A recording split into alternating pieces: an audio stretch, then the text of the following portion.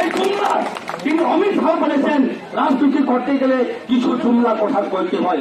এটার নাম তো বিজেপি, বিডিয়া বাটপার যে দিয়া জুমলা, বিডিয়া পার্টি বাটপার জুমলা পার্টি ভারতের জনতা পার্টি। ওই ওই বাটপার জুমলা পার্টিকে আমরা ত্রিপুরা রাজ্যের মধ্যে?